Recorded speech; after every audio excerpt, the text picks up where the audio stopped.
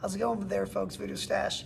Uh, we're going to take a look today at how to increase your activation of your core, of your lower core, your upper core, and your obliques.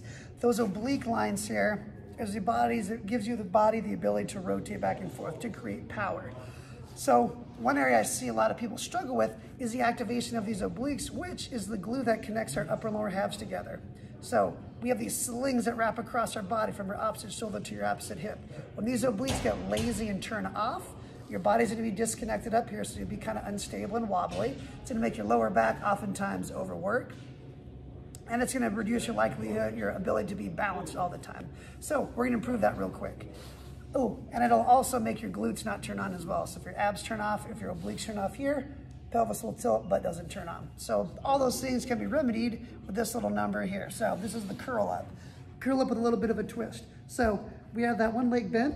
Step number one is taking that pelvis, pulling your hips forward this way. So I'm engaging my lower core. So if I poke below my belly button, it should be rock hard there so I can really feel those guys activating.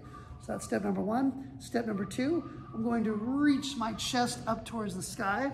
So I'm thinking about my ears, shoulder, and sternum all coming up as one piece.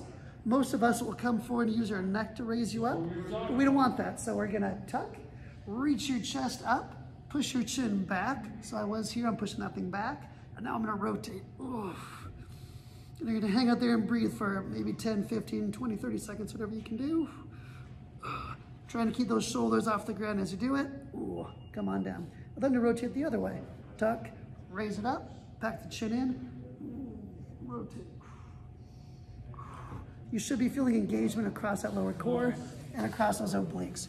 The more you work on that, the more connected your body will be, top to bottom, and across those slings. Enjoy that newfound power and newfound balance.